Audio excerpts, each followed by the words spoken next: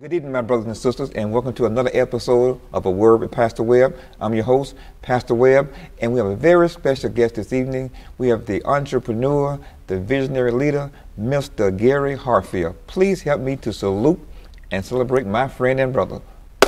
Man, how's it going? How's it going? Uh, great, great, great, Pastor Webb. It's uh, great to be here with you, and I look forward to the opportunity to share with you today. Okay, well, how, how was the drive? Drive? Did you drive fast? Yeah. How was it? Kind of slow. Kinda I, slow, okay. uh, I'm actually dealing with the uh, appendicitis. Oh, okay. So Oh. I've been, you know, very deliberate and intentional at my young age of trying to get in and out of the car and just take it easy. All right, appreciate Yeah, that. yeah. But we're not we're gonna prolong not prolong the time, Doc. What's your story? Tell me how you grew up. Wow. So I grew up in small, small town, rural America, uh, here in Florida, DeFuniak Springs, Florida. And uh, at that time, uh, what was unique about small town America is that all we did was concentrate on sports, uh, football, baseball, basketball, whatever your sport or choice was. Right. And as, as you got a little bit older, maybe you chase girls. Okay, okay. So that was the extent. We didn't have to worry about drugs and mollies and Percocets and all the different influences that our kids have today. Um, my influence was, you know, how do we play? How do we get ready for summer summer camp, two and three a days? Okay. Uh, how do we compete? How do we be a good student?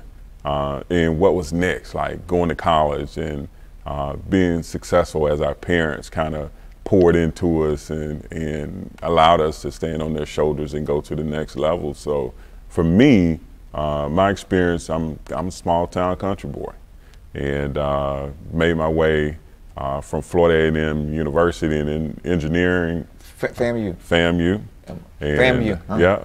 I'm a wildcat. I just gonna put it that way. Okay, well, I won't hold that against you. I want, I, I, I love you like a brother, um, so I won't hold that against you. And the fact that uh, you made the wrong choice as far as uh, National Panhellenic Organization, okay, okay, okay. but uh, you know I love you like a brother. Yes, sir. But uh, yeah, that's my experience. That's right. that's where I came from. Small town boy, country boy. Um, just uh, listened and was humble and uh, had good parents that poured into me. Right. And, and this this place is this town is located where?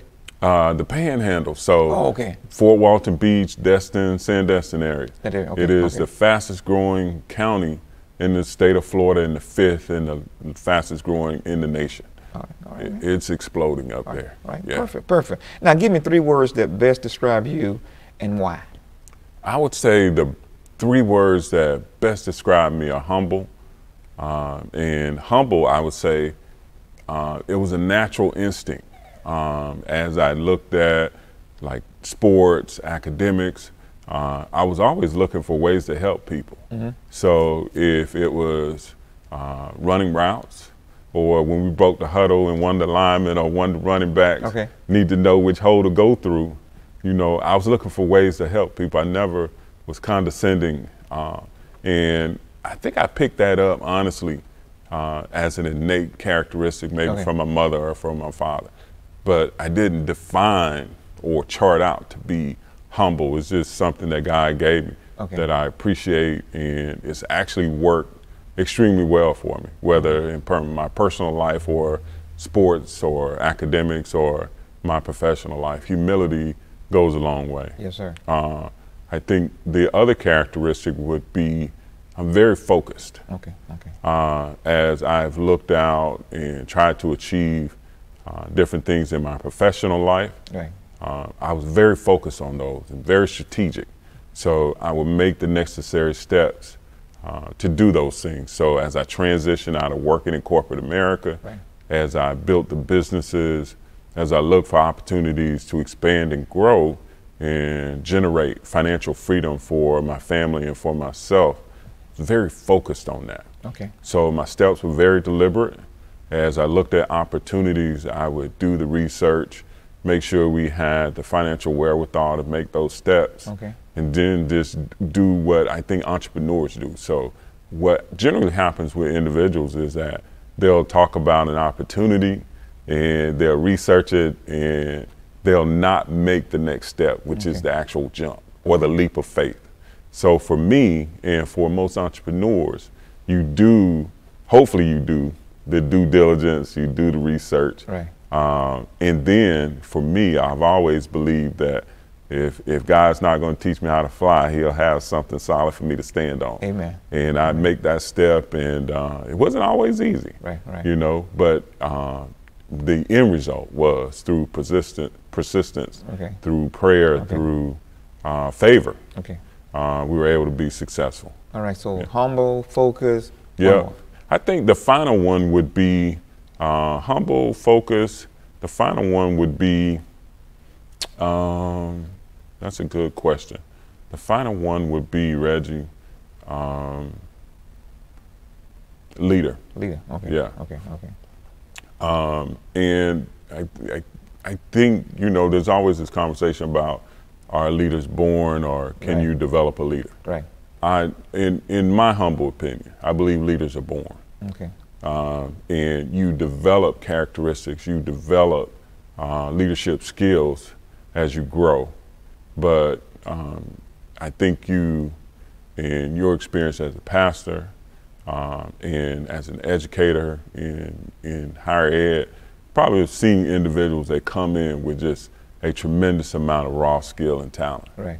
and you're thinking to yourself, okay, once they uh, are defined and redefined, they'll be a strong leader. Right. Right. Um, and I think that's true, generally speaking, where uh, whether it's in sports, academics, if Right. it's in uh, profession, whatever it may be, I think you're born with it Amen. and through grace and mercy you're able to define and redefine and maybe have a mentor Right. uh, that help you groom and get prepared for the next level so i, I think for me humility st- strategic or being focused in leadership Leadership. All right. Yeah. Perfect, perfect Doc. yeah Uh, why did you choose your current profession? wow so my current profession chose me Okay. Okay. So I'll give you the the short version. My uh, sister and I started about 22 years ago. My youngest sister, Lakanya Tammy Hartfield, and we started out in this entrepreneurial endeavor. And I did the research, wrote the business plan, and we were getting ready to build a half a million dollar facility in our hometown.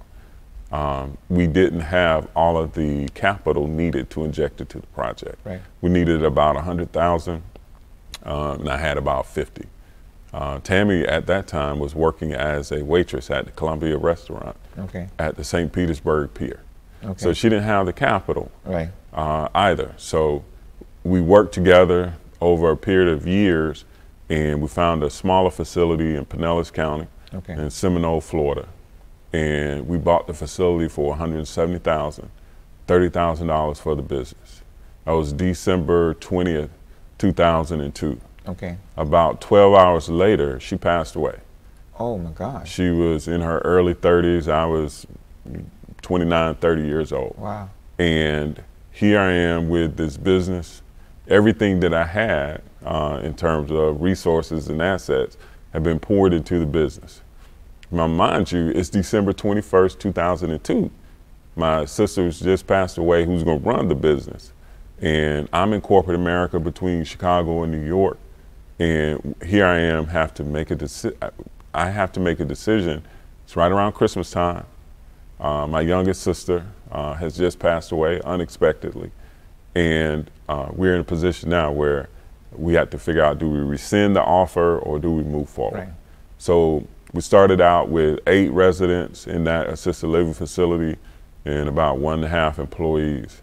As of 2019, before I sold a large portion of the business, we had more than 200 clients that we served every day, uh, more than 100 staff between Pinellas and Hillsborough County. So I say all that to say that it was not a conscious choice. Um, everything that I did um, was, I believe, divinely destined. Right. And I walked into this favor, I walked into this opportunity uh, that I believe my sister, um, in God's grace and mercy, had prepared for us. Wow. Uh, so that's honestly how I arrived at what I do today. Amen. Yeah. All right. Yeah. Well, well, I did my research on you. Uh, Okay. What is Serenity Village Incorporated? Mm. So Serenity Village Incorporated, it started out back in early 2000, 2002. It started out as a healthcare facility, Okay.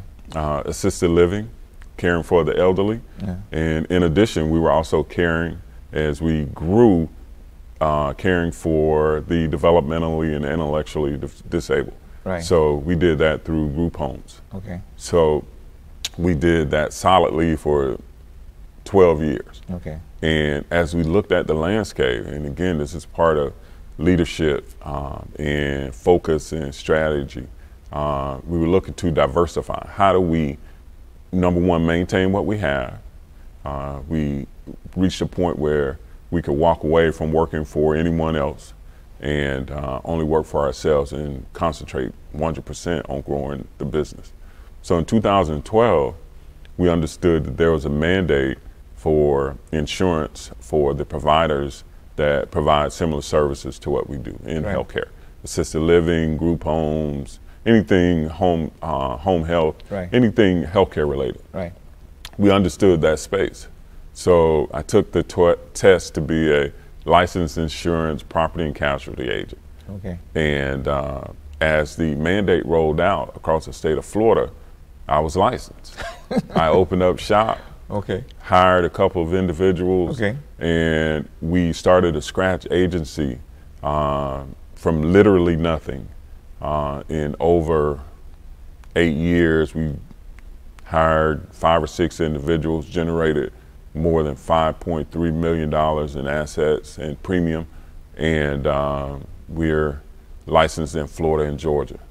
So uh, Serenity Village started as a healthcare facility.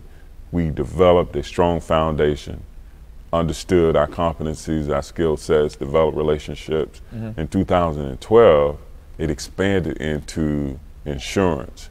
And now, um, over the course of the years, as God has given us opportunities, we've invested in property Okay. commercial property and residential property. So primarily commercial, but we looked at opportunities to again diversify and expand our portfolio.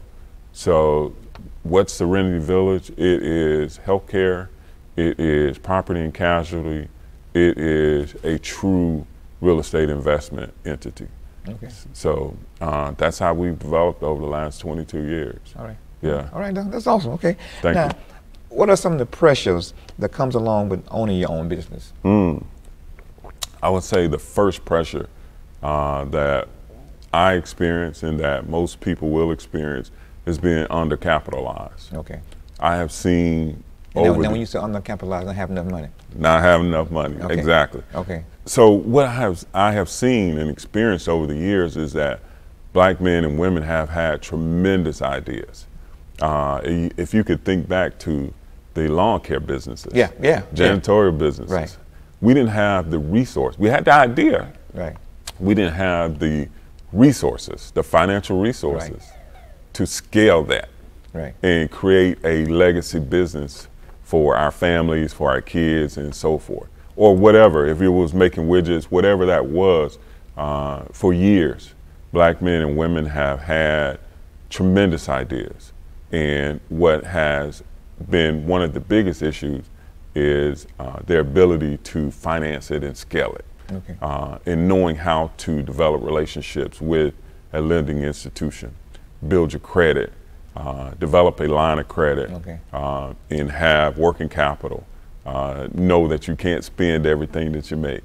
Um, so, in God's word, He speaks to that my people perish because of a lack, of knowledge. Right. Right. So, in that, an essential part of that is the knowledge. Right. So, the knowledge in terms of developing relationships with banking institutions, making sure you have strong credit, and then being able to differentiate once you get to the point where you can, where your business is an entity that finances and is able to generate revenue on and, on its own without your personal uh, credit being affected. So Mm-hmm. Right. I think uh, that's an essential part of understanding what the biggest issues are in terms of being an entrepreneur. Uh, the other part of that I share real quickly is that I read in Forbes that there's three types of capital. There's human capital, there's financial capital, and there's social capital. Right. So in Forbes, they went on to say that social capital is the most important form of capital. Because if you have social capital, meaning that relationship with the banking institution, with the CEO of the institution, with go. individuals that understand what you do, that have a relationship with you, they're willing to make an investment into you and your business uh, based on credibility and relationship, your social capital. And if you're able to do that and you're in those circles, uh, in those board meetings, in those uh, community meetings where you're able to position yourself uh, where the deals happen. Right. Maybe you're playing golf, maybe you're playing pickleball, mm. whatever, or you're attending church together. Whatever that may be, you're building social capital. Right. And so your ability, number one, to generate now financial capital becomes a lot easier. If you have the financial capital, then you can make the investment in the human right. capital. Right. So I would say those two things are definitely understanding and having knowledge, and then three being two being able to apply it in developing social capital. Perfect. Yeah. Now you do know this is a social capital interview, right? Absolutely, definitely, absolutely, absolutely. All right. Next question. Uh, I heard that you are an author and you wrote a book. Yes. Um, number one, what's the name of the book and okay. why did you write it? Oh wow! So I wrote the book uh, and the name of the or the title of the book is Stand. Stand. Okay. Okay. Um, and I wrote it because it was a pivot point in my life. By what do I mean by pivot point? So it was one of those moments in life where you understand that God is getting ready to take you to the next level. Right. So in doing so, everything good and bad that I needed to express uh, I tried to express in that book. Now, the pillars of the book was educate, motivate, and empower. Right. So some of the bad stuff uh, you can't write about, uh, you can't fully express in a way that maybe it takes away from education, motivation, right. and empowerment. But you have to tell the story and tell it in a way so compelling that number one is true, is sincere, but it maintains those pillars of educate, motivate, and empower. Right. So the book uh, the title Stand is uh, drawn from a relationship uh, that I have with my mother. She okay. passed away last year, okay. June of 2020. Okay. I was in undergrad and struggling through matriculating, understanding how mm. to make it through this next level of life right. as a young man.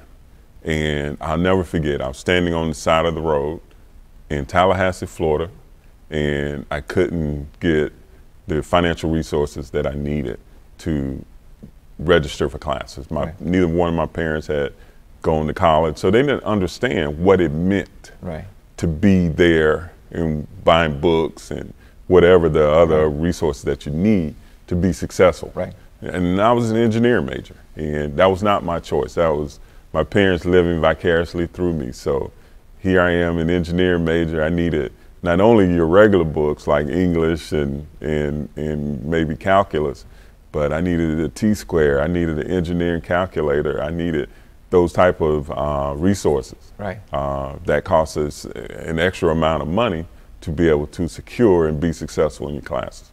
So I'm standing on the side of the road and I'm talking to my mom. I'll date myself a little bit. I was on the payphone. Oh my God. Yeah. so I'm listening and explaining to my mom what's going on. I'm, I want to go back, Reggie. I want to go back to my hometown. I want to go back to the place where I was comfortable. I want to go back to the place where I was the big fish in the small pond. I was Gary Hartfield. Yes. I was, you know, part of our state championship football team. I was, you know, the man. popular guy. I was the man. Yes. So I wanted to go back to that. And at Florida A&M University, everybody was the man, you know. and then you have Florida State right across the street. Right. So you got 30, 40,000 young, brilliant minds there. And now I'm having to compete with that and compete with the fact that I don't have uh, the resources to be successful. So I'm standing there, I'm crying, uh, ready, trying to figure it out. And so I'm explaining to my mother all the challenges, and I'm hoping she'll say, well, just pack up your things and come home. Mm. And in this conversation, this matter of seconds, uh, I'm explaining to her that I have holes, I don't have financial aid, I don't have the resources. And she said, You know what I want you to do? And I'm listening because I'm thinking, I've done everything possibly I can do. Right. Um, she said, After you've done everything you can possibly do, Gary, I want you to stand. My Jesus. And I'm listening. So this was a pivot point. I, at that moment, changed from a boy to a man. Mama. And she said, after you've done everything that you can do, and I'm thinking, okay, now I can say I've done everything I can do and I can come home, pack up my little car and go home. Right. She said, I want you to stand anyhow. What do you do with that? Amen. I'm 18 years old. My Jesus. And she spoke into my life um, what I needed Right. to endure. So, and when I say endure, it wasn't only about that moment or my undergraduate experience. It was about my life as a man, a man of Christ, and what that would mean from that point on, and what I was speaking to my mentees' life, my children's life, my children's children's life, and whoever I came in contact with. Now, God had given her uh, she, he, God has spoken through her this uh, thing that was essential for me to be able to endure. So his purpose for me, uh, God understood that it would be challenged along through that experience and along through life, and that I needed something that I could always refer back to to help me to endure as a man. Amen. So she said, after you've done everything you can possibly do, stand anyhow. There was no instructions with that, but stand stand. anyhow. So that being said, I'm standing there. All of my excuses were invalid at that point. And I pivoted. I, at that time, I left the protection and the, what you will uh, define as kind of the shield that your parents have over you. Right. And now I'm a man in this world, developing, growing, maturing on my own as a Christian. Amen. So for me, as I reflected over the first 45 years when I started to pen my memoir, Stand, uh, that was the most pivotal point because at that time it allowed me to now fast forward 45 years as a successful entrepreneur Amen. as a father, as a as an educator, as a leader. Uh, everything pivoted on that point. So that's where the title of the book Amen. comes from. Stand. Perfect. uh, Perfect. Um, you're a busy man. What are some of your hobbies? What, what do you do for fun? Wow. So golf. Golf. Okay. Okay. I love to play golf, fishing, Okay. um, and conversations like like these. Um, Okay. A number of times when you and I connect, it could be years, Okay. and we just reconnect like it was just yesterday. Yeah, I know. I know. So I would say the brotherhood and fellowship is important for me. And it, it could be years. Okay. But having good men uh, that pour into you, and then likewise, you may be able to add something to them, uh, that's important for me. Okay. all right, Yeah. Okay. And, uh, what do you see as the biggest struggle with young people today? One of the things that I talked about in um, a blog posts and uh, that I refer to in my book is called The Law of Difference. Talk about. Talk about. Law of So, the law of difference speaks to uh, being created as God's masterpiece. And of the 7 billion, 8 billion people on the face of the planet, He made us each unique.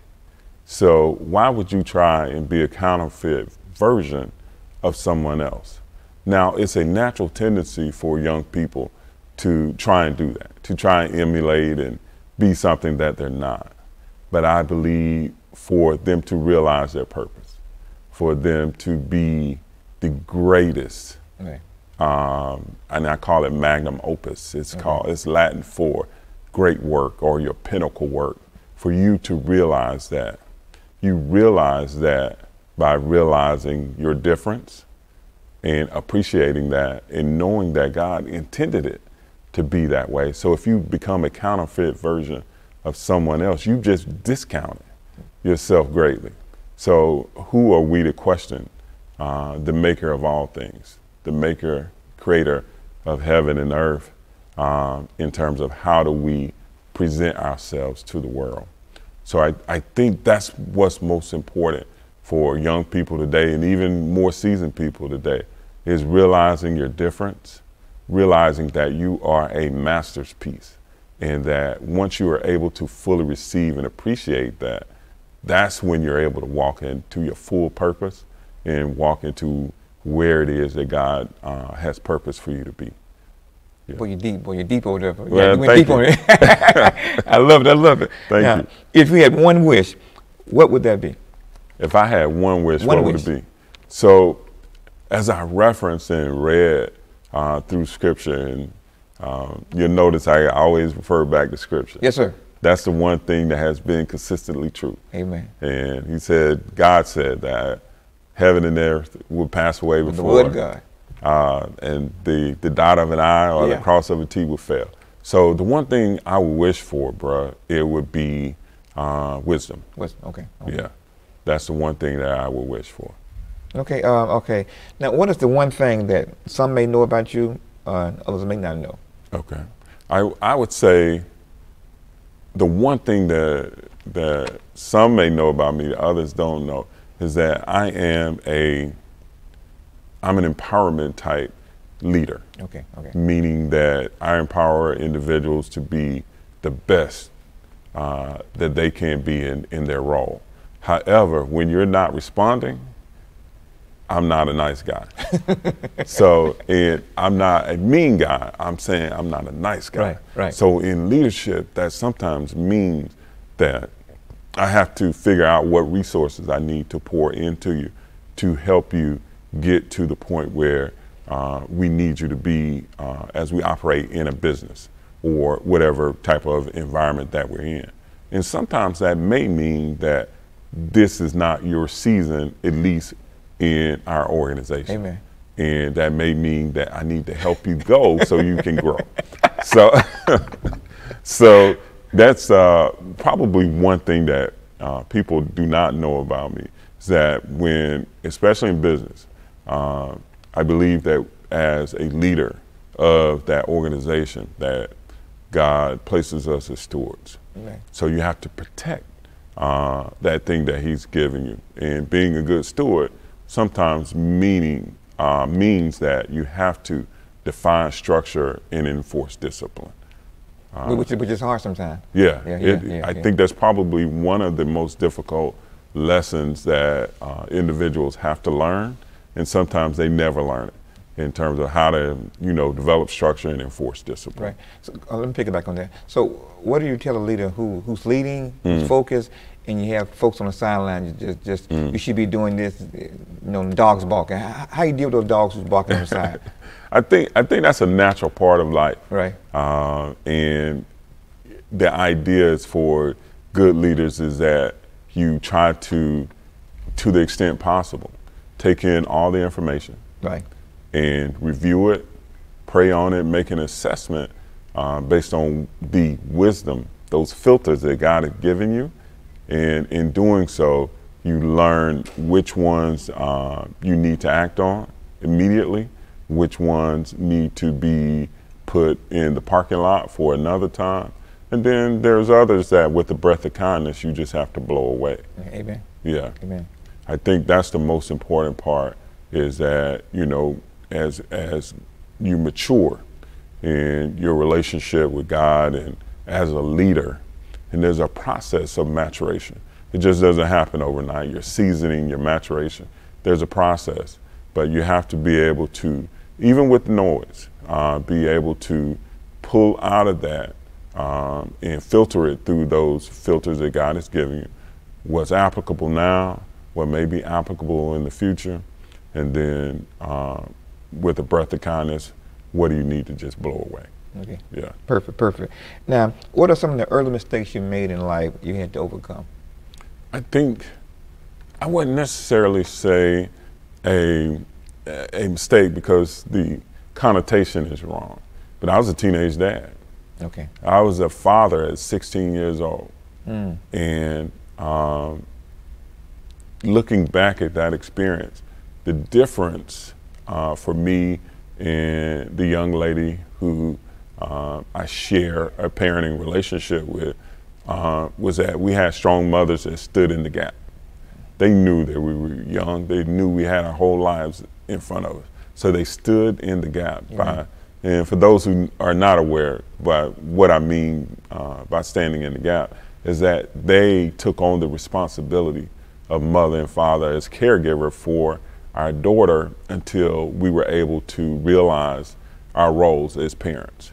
We were 16 years old. We had no idea. We were kids ourselves. Right. So I think for me, as I look back on that experience, that was one of those times where, you know, if if I had a different set of choices, I wouldn't have made that same choice.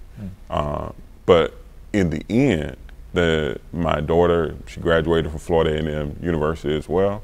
Uh, she's doing extremely well. She's working on a master's degree, and uh, she's flourishing. So I, I, I, I think the connotation of mistake is wrong. I think it's just one of those times in life where you know your choices, and your decision set uh, was limited, and you made a choice that now affected your life and and others individuals' lives. You know, for for eternity. Yeah, Just a good kid, but made a bad choice. Mm-hmm. Yeah. absolutely. Yes. Okay. Um, how do you balance family, work, fun? So uh, when I started the business, balancing uh, family, work, fun uh, was non-existent. I'll, I'll be 100% open and transparent. I, I was driven. Uh, my being driven in terms of growing the business, expanding the business, was based on a need, an innate need to provide for my family. Great family, right? Yeah. So I wanted to be able to do that without uh, going into work one day and being laid off or being discriminated against because of the color of my skin or my gender or whatever it may be. I wanted to be able to provide for my family consistently with a level of financial freedom that would allow me to elevate my family and elevate myself. so I think as you know, as I really look at it, uh, that for me was was the most important uh, thing for me is uh, being able to to to provide for my family and elevate. Um, so I didn't have a lot of work-life balance. I would work uh, 14, 16 hours, whatever it took Wow. to get the job done. So as I got to the point where uh, things started to stabilize and the business started to take off, and I could invest in others to help me run the business, um, I started to provide and look for more ways to develop work-life balance um, and spend time, more time, more quality time with my kids. I always spent time. I, I always felt like I poured into my kids, but I wanted to be able to do so at a higher level. Right. So, with the financial freedom came the ability to take my my daughters um, to Europe for a week, and then from Europe we flew to Africa. Wow. And spent a week in Africa. Uh, we climbed Mount, Mount Sinai where Moses uh, received the Ten Commandments Wow. And we shared in that experience. So uh, we saw the Great Pyramids, we saw the Sphinx. Uh, so and we learned about the education and the culture and all of those things uh, of Africa. Amen. Uh, a lot of times people forget that Egypt is in Yeah. Africa. That's it. Yeah.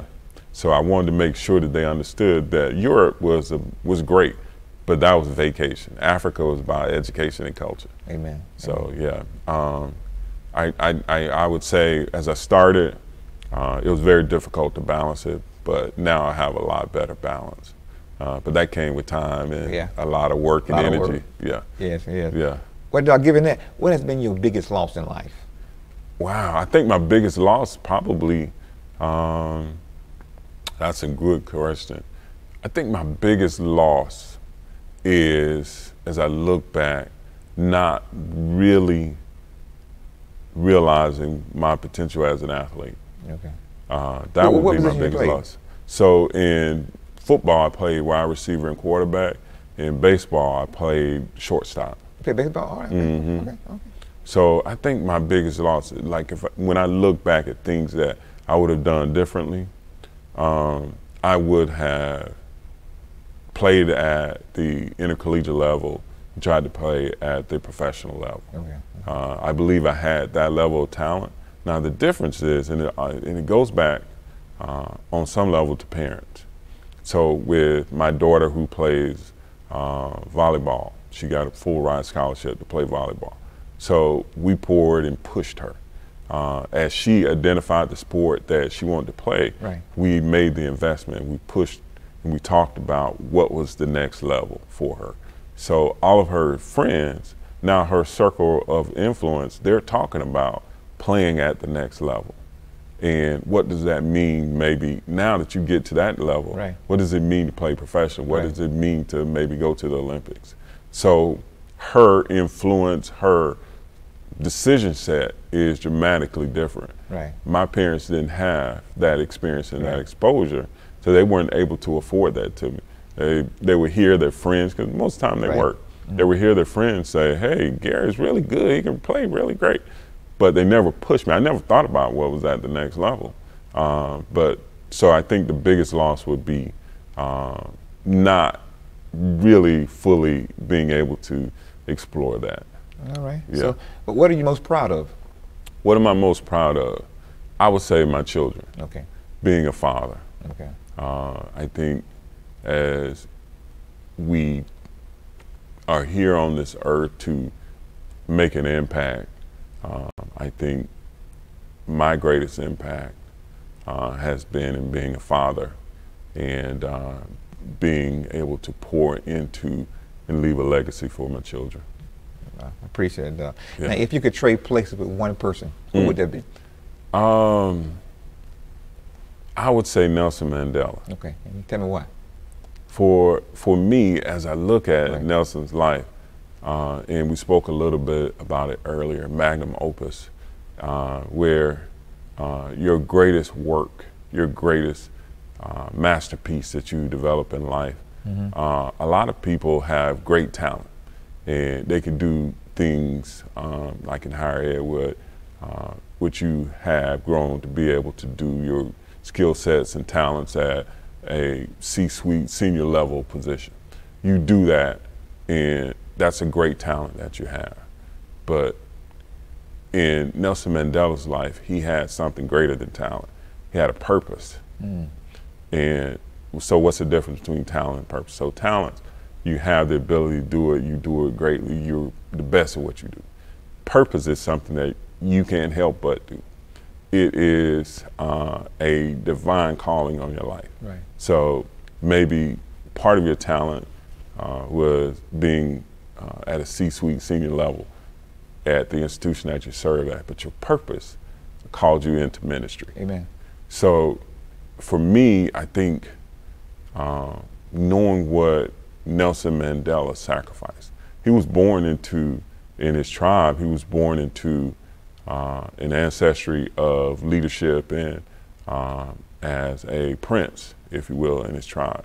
But he forego all of that because he understood that in apartheid South Africa, that his momentary loss 27 years in prison and everything that he faced um, was a setup for a long-term gain.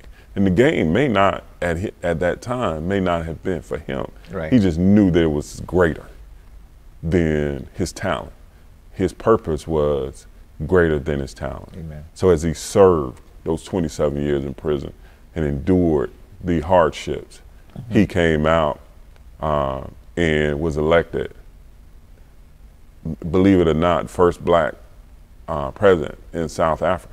Now imagine you're in South, you're in anywhere on the continent of Africa, and you celebrating being a black president. In addition to that, um, he won the Nobel Peace Prize. Yes. So I, I would say um, his focus, his humility, his leadership uh, as we talked about earlier, and his ability to to to humble himself to his purpose. Uh, that would be one of the people. If I guess I, if I had to change places with, or who I would aspire to be, it would be Nelson Mandela. Well, I appreciate yeah. it. All right, appreciate that, Doc. Yeah. Now, Doc, you're a very successful man. How has God played a role in your success? Oh wow, God has and is my success. Amen. So, as I looked at uh, my ability to be talented and strategic and all those things that we want to uh, identify as our reasons for success, I always have to go back to and humble myself to know that although we prepare the plan, God prepares the increase. Amen. Uh, so uh, God has been, uh, for me, uh, just the source of everything. Amen. Um, and that doesn't discount the fact that he gave me ability, gave me the ability to work hard, to understand concepts, right. to apply them, to try and strategically position myself in places. So it never discounts that, and I think God rewards us for that. But I think more than that is that when we're able to humbly submit to Him and know that uh, He's the source of everything, I think He's better able to uh, not only prepare us, but to bless us for that next level. He trusts you now. Amen. You know, Amen. now that you become a better steward at this level. He said, you know, I, you've been faithful over a few things. Yes. You know, and so I can make you ruler over many. Right. So it's always been an aspiration of mine to continue to grow and evolve. So as God blesses me financially and otherwise, um, my thought is always, okay, we're at this level now. Right. Do we write another book? Do we start another business? Where do we go if I've been able to accumulate $10 million in assets? How do we get to 100 million? How do we get to a billion? If uh, our counterparts, if Jeff Bezos and Bill Gates and Jeff Vinik and others and Oprah Winfrey and others can get there, then certainly I can too. So for me, uh, humbly submitting to God and knowing that God is the source and not ever being comfortable where I am. Amen. Yeah. Amen. Yeah. Amen. All right, Doc, as we bring this to a close, uh, any closing words for our listening audience? Any closing words you'd like to say and leave? Any profound statements? Yeah. I would say I have, uh, as I was taking my daughter uh, back to college, uh, she has to go back weeks early as an athlete. Uh, she plays middle uh, on the volleyball okay. team at Southern Illinois University. Okay. Uh, we were at, we did a road trip. Okay. So we were in Atlanta, we were at a hotel, and on this note that a gentleman left, he talked about Michelangelo and Michelangelo, and I'm paraphrasing, he talked about that in his work, how he saw the image in the marble, and his job was to clear away all of the clutter around that image to set it free. Mm. That was Michelangelo. So if I had to leave anything or say anything important, imparting what that meant to me when I shared it with my daughter is that for me, for her, and for your audience is that it's important that as sculptors of our own lives is that we are consistently in the process of clearing away the clutter to set that angel free. Whatever that may be whatever you feel like god has purpose in your life is that it doesn't just happen one time in life. Amen. It's, it's, an, it's an evolutionary, it's a revolutionary process where you're constantly looking at that angel in that marble. And you should always be looking for an opportunity to set that angel free and to remove the clutter. Nice, nice. Yeah. Now, last question, Doc. Yes, sir. What is the best talk show in the land? Well, I hear and I truly believe uh, that my brother Reggie Webb a word with uh, Pastor Webb is the most important, most relevant, most topical talk show in the land. And I wholeheartedly submit this young man and support this young man Uh, he has been tremendous in my life. We have known each other for at least 30 plus years. Yes. Yeah. He's a good brother. Thanks so much, man. Yes, sir. And to my listening audience, may God bless you real good.